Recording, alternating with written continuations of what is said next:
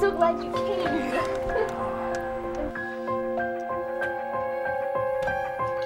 Dad, this is Calvin. It's a pleasure to meet you, sir. Pleasure's all mine. Oh, God. No, no. I don't want to spoil my appetite. Are you sure you want to follow? Dad! Come on, boy. Get it on. I can't do this.